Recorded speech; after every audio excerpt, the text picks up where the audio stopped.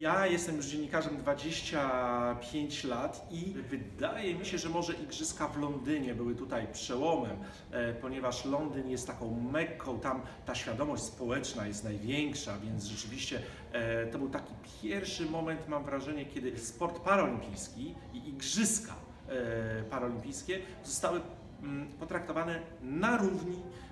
z Igrzyskami olimpijskimi. Nawet jeśli Niekoniecznie w Polsce, bo my byliśmy wtedy jedną, jednym z dwóch krajów e, w Europie, gdzie telewizja e, publiczna tego nie transmitowała, to jednak i tak się, mm, i tak się te obrazki z Londynu przebijały i myślę, że to też zaważyło o decyzji, żeby Igrzyska w Rio Paralimpijskie po raz pierwszy, jako pierwsze w historii były transmitowane w telewizji polskiej. A nie oszukujmy się, telewizja to jest moc, to jest największa e, siła dotarcia, jeśli coś jest w telewizji, to też jest łatwiej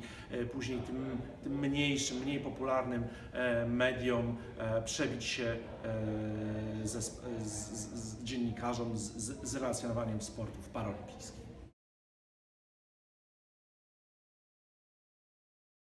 Sam wiem, wcześniej pracowałem jako, bardzo długo jako dziennikarz Gazety Wyborczej, potem w sport.pl, e, że mm, udawało się tak przeniknąć e, sportowi paraolimpijskiego w formie e, reportaży. Tak właśnie było traktowane w poprzednich latach, że to jest taki